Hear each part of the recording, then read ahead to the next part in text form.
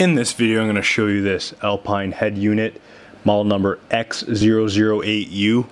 So it's an 8 inch unit, it has built-in nav, has endless features. I'm not going to be able to show you everything. Right here, here's the navigation.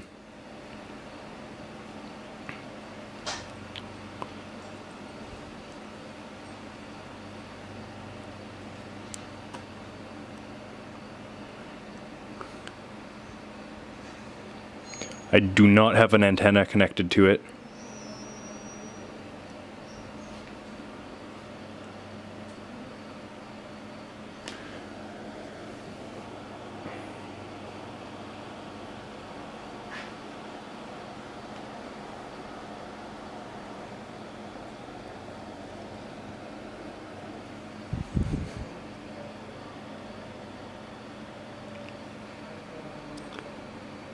This has uh, May 14th, 2014 maps.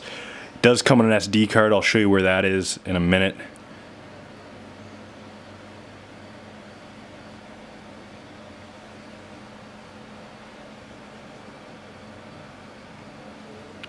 So yeah, navigation's pretty decent. Not much to show you though.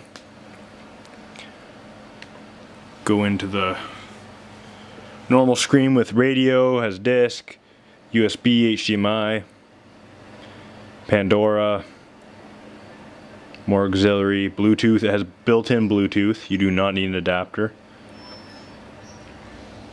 Gonna just activate it, my parking brake sensor, so I can, um, if I can get it right,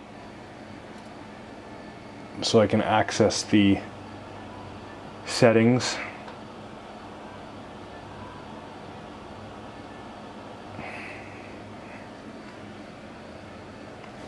Again, too many settings to show you. I'm going to just quickly go through it.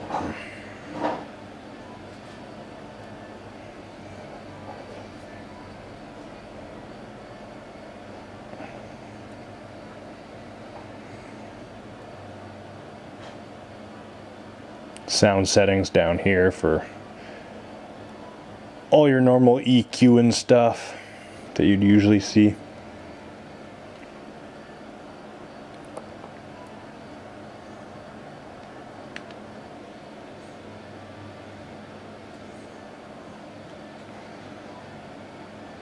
Split screen between um, GPS and what you're doing for music.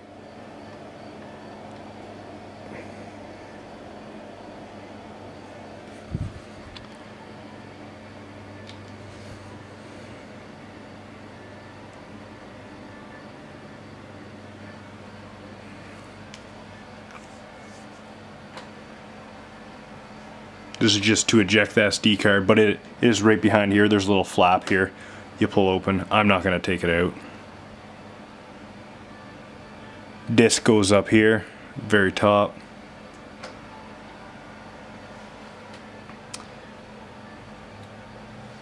And yeah, that's that's all I'm going to really show you for the front. Um, it's pretty awesome deck. Too much to show you. I'm not even going to bother.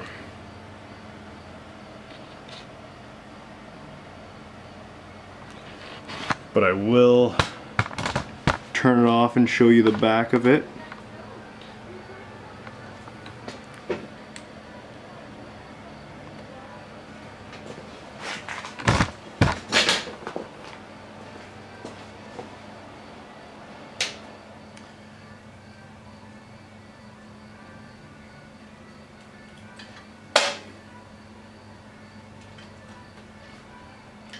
the uh, the wiring harness is not included on this exact model uh, for this one.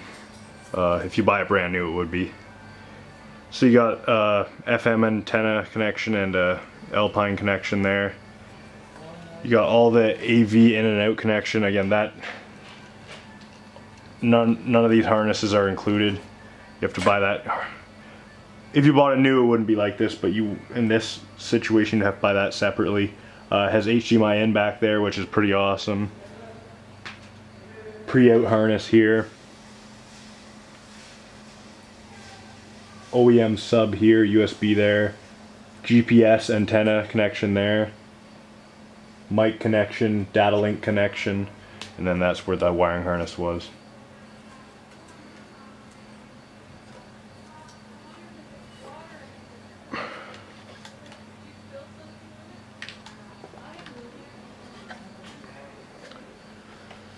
Here's the bottom of the deck.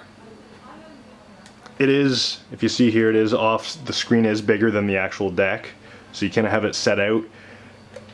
These uh, clips here are for a Ford, I think, and it's kind of a custom install that you have to get from Alpine. You have to get all the trim and stuff because of the 8 inch screen. It makes it very hard to install in certain cars. But anyways, that's uh, that's all for the video. Uh, I know I couldn't show you a whole lot because there's too much to show you, but that's it and that's how it works. Thanks for watching.